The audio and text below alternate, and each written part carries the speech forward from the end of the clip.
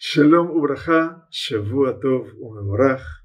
Comenzamos los últimos días del mes de Shabbat, ya mirando la llegada de Adar Rishon y todo lo que representa la idea de empezar a compartir este año en Bolismal, Shaname Auberet, el hebreo, que va a tener 13 meses y con ello la braja de tener dos tiempos de Adar, Adar Rishon y Adar Shemi como para que podamos sentir que aquello que establecieron los Jajamim, Mishel Ignaz Adar, Marvim Besimcha, de momento que ingresa al mes de Adar se incrementa la alegría, quiera el Todopoderoso que la alegría se incremente por el doble, tanto Adar primero como Adar segundo, que sepamos solamente de cosas buenas, que sepamos solamente de la curación completa y que sepamos por sobre todas las cosas que ya este periodo de la enfermedad, de los virus, de, las tantas noticias que nos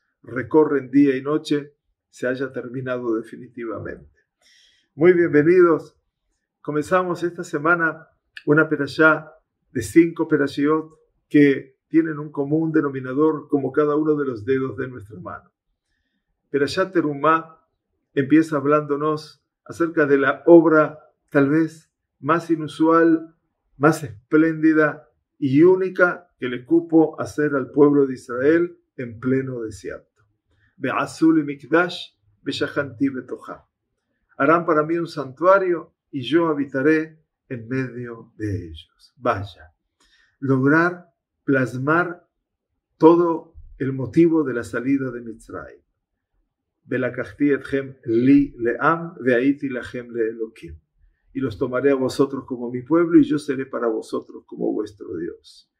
Tal vez en este momento es en el cual comenzamos a sentir no solamente la pertenencia, sino el hecho de cómo seres humanos, una comunidad, un pueblo, una nación en ciernes, logra hacer que la presencia divina habite definitivamente en medio de ellos. Como nos va a decir al final del libro de Baikra,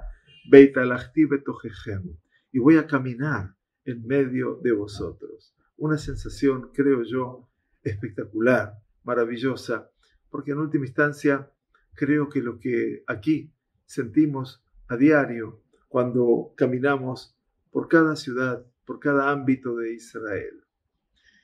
Vaidaber Hashem el Moshe Leemor, habló Hashem con el, con el, a Moshe diciendo, Daber el Bene Israel, habla a los hijos de Israel, Beikehu li terumá. Tomarán para mí una trumá, una ofrenda, meet kol ish, asher idebenu libo, de todo hombre cuyo corazón esté en condiciones de idebenu, quiere decir que pueda dar con toda su voluntad. Tikhu et terumati, tomaréis mi teruma. Terumá significa una ofrenda. ¿De dónde viene la palabra terumá? De un verbo que es rum. Rum quiere decir elevado. Es la forma de elevarse de un pueblo, de un ser humano físico, hacia lo que es la imagen y la figura, la semejanza de su creador. ¿A través de qué? Del objeto material. Esa es la terumá. ¿Cómo lograr que todo mi aporte material alcance una dimensión espiritual. ¿Cómo logramos hacer ese aspecto? Dice Beikhu li eterumateri. Beikhu, tomarán para mí mi ofrenda. Y ese tomar la ofrenda, dice Rashi, Beikhu li lishmi, que quiere decir en mi nombre.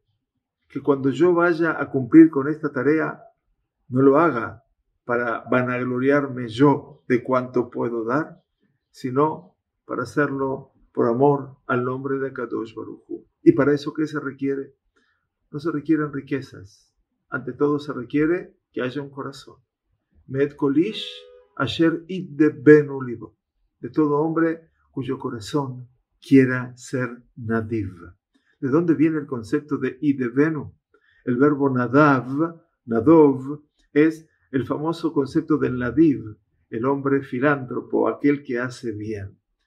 Rav Hirsch, con su genialidad, hace una asociación en el verbo nadav con el verbo nataf. Nataf es el verbo que habla de gota, pipa. Y de ben ulivó es aquel que sabe dar con su corazón gota a gota. No una vez la persona que da de una vez y nunca más, sino la persona que sabe dar cada día, un poco, tipa, tipa. Eso es lo que quiere Kadosh Baruj de cada uno de nosotros, que cada día demos una pequeña gota de nuestra bondad, de nuestra materialidad, y de esa manera podremos llegar a ser la terumá, esa ofrenda que puede construir el mejor de los santuarios, como dice David Abimelech, Bilbabi Mishkan Evene. En mi corazón voy a construir un santuario para el Creador. Que lo podamos lograr. Shavu Tov Umeborach. Gracias por acompañarnos.